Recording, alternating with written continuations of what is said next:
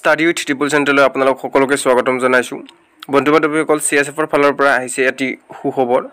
ইয়াৰে যিটো C S এফৰ কনষ্টেবল ট্ৰেডছমেন আছে তাত ভেকেঞ্চি ওলাইছে seven hundred eighty seven total ইয়াতে কি কি এজ চিলেকশ্যন প্ৰচিডিউৰ কেনেকুৱা কেতিয়াৰ পৰা অনলাইন ষ্টাৰ্ট হ'ব সেইসমূহ ভিডিঅ'ত মই বিতংকৈ জনাম আপোনালোকে চাওক যে প্ৰথম কথা হ'ল ইয়াৰে যদি আপোনালোকে চাই যিটো এপ্লিকেশ্যন ডেট সেইটো এপ্লিকেশ্যন ডেটটো ষ্টাৰ্ট হ'ব একৈছ নৱেম্বৰৰ পৰা আৰু লাষ্ট ডেট আছে আপোনালোকৰ বিছ ডিচেম্বৰ। নেক্সট ইয়াতে কি কি এলিজিবিলিটি ক্ৰিটেৰিয়া লাগিব আপোনালোকে চাই লওক ক্ৰাইটেৰিয়া ইয়াৰে যিটো পে' লেভেল হয় পে' লেভেল দিয়া আছে একৈছ হাজাৰ সাতশৰ পৰা একৈছ হাজাৰ সাতশৰ পৰা ঊনসত্তৰ হাজাৰ এশ টকা। আৰু লগতে ইয়াৰে যিটো চিলেকশ্যন প্ৰচিডিউৰ হ'ব কেনেকুৱা হ'ব চিলেকশ্যন প্ৰচেছটো যে প্ৰথমতে আপোনালোকে অনলাইন এপ্লিকেশ্যন ছাবমিশ্যন কৰিব লাগিব। চি এছ এফৰ ৱেবছাইটত অফিচিয়েল ৱেবছাইটত তাৰপিছত আপোনালোকৰ ফিজিকেল ষ্টেণ্ডাৰ্ড টেষ্ট হ'ব। তাৰপিছত আপোনালোকৰ ৰিটেন এক্সামিনেশ্যন হ'ব। তাৰপিছত আপোনালোকৰ যিটো চাৰ্টিফিকেট আছে ডকুমেণ্টছ আছে সেইবিলাক ভেৰিফিকেশ্যন হ'ব। আৰু আপোনালোকৰ যিটো ৰিজিয়নেল বেচিছত ইয়াতে দিয়া আছে seven hundred eighty seven total all India লেভেলত আছে আৰু গতিকে ৰিজনৰ যেনেকৈ আছে ইষ্টাৰ্ণ ৰিজন আছে নৰ্থাৰ্ণ ৰিজন আছে southern region north eastern region তো ৰিজন ৱাইজ ভাগ কৰা আছে সেইবিলাক বাৰু মই ইয়াতে দি আছোঁ দিয়া ভিডিঅ'টো দি দিম। তো ইয়াতে চাওক আপোনালোকে যিটো আছে পে স্কেল আপোনালোকৰ পে লেভেল সেইটো অলৰেডি ক'লোৱে মই। ইয়াৰে যিটো ভেকেঞ্চিছৰ ক্ষেত্ৰত যদি আপুনি চাবলৈ যাওঁ চাওক কনষ্টেবল কুকত আছে আপোনালোকৰ দুশ সাতচল্লিছটা কবলাৰত আছে চাৰিটা মেলৰ ফিমেলৰ সাতাইছটা এনেকৈ এটা এনেকৈ আপোনালোকে চাই ল'ব। মই স্ক্ৰল ডাউন কৰি দিছোঁ নহ'লে ভিডিঅ'টো দীঘলীয়া হৈ যাব।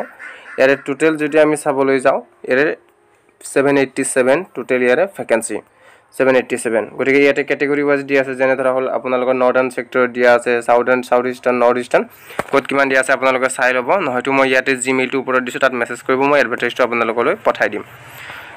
তো ইয়াতে নেক্সট হ'ব আমি যদি তললৈ যাওঁ গতিকে ইয়াৰে চিলেকশ্যন প্ৰচেছৰ ক্ষেত্ৰত যদি আমি চাবলৈ যাওঁ ইয়াৰে টোটেল যিটো ভেকেঞ্চিছ অফ এক্স ছাৰ্ভিচমেনৰ এক্স ছাৰ্ভিচমেনৰো ভেকেঞ্চিছ আছে ছেভেণ্টি ছেভেনটা এক্সট্ৰাকৈ গতিকে আপোনালোকে ক'ত গৈ পিনে এইটো অনলাইন এপ্লিকেশ্যন ছাবমিশ্যন কৰিব লাগিব সেইটো এছ এছ চিত নহয় C S F R E C T T dot in তাত আপোনালোকে এপ্লাই কৰিব লাগিব।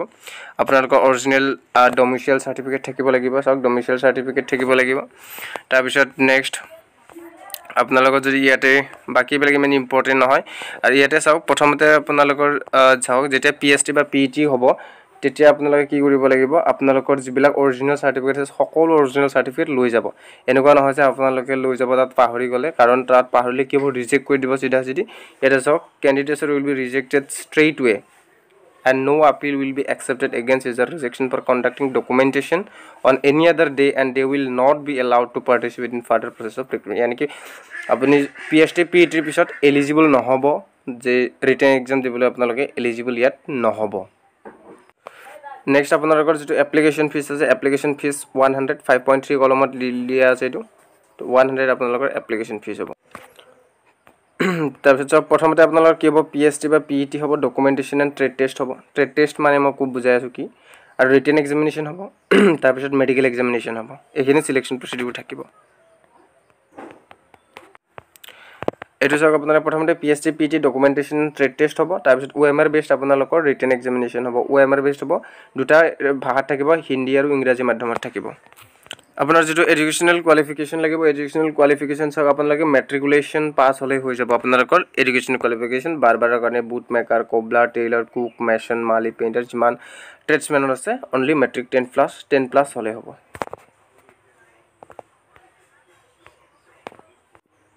আপোনালোকৰ বন্ধু বান্ধৱীসকল এজ এজ লিমিট দিয়া আছে আপোনালোকৰ চাওক এজ লিমিট এজ লিমিট দিয়া আছে ওঠৰৰ পৰা তেইছ বছৰ অৰ্থাৎ এক আগষ্ট দুহেজাৰ বাইছলৈকে আপোনালোকৰ এজটো ধৰা হ'ব। আপোনালোকে দুই আগষ্ট ঊনৈছশ নিৰান্নব্বৈ আগত জন্মগ্ৰহণ কৰা হ'ব নালাগিব আৰু লগতে এক আগষ্ট দুহেজাৰ চাৰিৰ পিছত জন্মগ্ৰহণ কৰা হ'লে নহ'ব। আৰু আপোনালোকৰ এজ ৰিলেক্সেশ্যন আছে, চাওক এছ এছ চি বা এছ টিৰ কাৰণে ফাইভ ইয়াৰ্ছ আছে অ' বি চিৰ কাৰণে থ্ৰী ইয়াৰ্ছ আছে এক্স ছাৰ্ভিচমেনৰ কাৰণে থ্ৰী ইয়াৰ্ছ আছে, তো তেনেকুৱা। যদি ফিজিকেল ষ্টেণ্ডাৰ্ডৰ ক্ষেত্ৰত চাবলৈ যায় হাইট চাওক O' B C U R E W S এইবিলাকৰ কাৰণে ওৱান ছেভেণ্টি চেণ্টিমিটাৰ আৰু চেষ্ট লাগিব এইট্টি টু এইট্টি ফাইভ ফিমেলৰ কাৰণে ওৱান ফিফটি ছেভেন চেণ্টিমিটাৰ যদিহে আপুনি এইকেইটা ছেক্টৰত হয় তেনেহ'লে হাইট আৰু চেষ্টত ৰিলেক্সেশ্যন পাব। যেনেকুৱা ধৰক আপোনালোকে যদি গুৰখাজ হয় ডুগৰাজ হয় মাৰাঠা হয় বা নৰ্থ ইষ্টৰ পৰা বিলং কৰা হয় Tripura Mizoram Meghalaya Assam Himachal Pradesh Kashmir Leh and Ladakh regions of Jammu and Kashmir subject তো ইয়াৰে যিটো ওৱান ছিক্সটি ফাইভ চেণ্টিমিটাৰ হ'ব ওৱান ছেভেণ্টি নালাগে ইয়াতে one sixty five centimetres female one fifty five centimetres হ'লে হ'ব আৰু মেলৰ যিটো চেষ্ট আছে ইয়াতো টু চেণ্টিমিটাৰ কমাই দিয়া আছে অৰ্থাৎ ছেভেণ্টি এইট চেণ্টিমিটাৰ হ'লে হ'ব। আপোনালোকৰ ৰিক্ৰুইটমেণ্ট প্ৰচেছ যিটো হ'ব সেইটো চাওক ফিজিকেল ষ্টেণ্ডাৰ্ড টেষ্টত কি কি হ'ব বা ডকুমেণ্টেশ্যনৰ ট্ৰেড টেষ্টত কি কি হ'ব আপোনালোকে চাই লওক ইয়াতে। যিটো প্ৰথম ফিজিকেল টেষ্টত আপোনালোকৰতো হাইট চেষ্ট এইবিলাকতো মেজাৰমেণ্ট হ'বই হ'ব। P H T physical sufficient test হ'ব সেইটো। যিটো হাইট চেষ্ট আৰু যদি আপোনালোকে চায় পি ই টিৰ ক্ষেত্ৰত পি ই টিৰ ক্ষেত্ৰত হ'ব আপোনালোকৰ ফৰ মেল কেণ্ডিডেটৰ কাৰণে ষোল্লশ কিলোমিটাৰ ৰানিং হ'ব ছয় মিনিট ত্ৰিছ ছেকেণ্ড দিয়া হ'ব আৰু ফিমেলৰ কাৰণে আঠশ মিটাৰ দিব চাৰি মিনিটত। এতিয়া সময়ত ট্ৰেড টেষ্টলৈ ভিডিঅ' ট্ৰেড টেষ্টটোলৈ ট্ৰেড ট্ৰেড টেষ্টত কি কি হ'ব চাওক?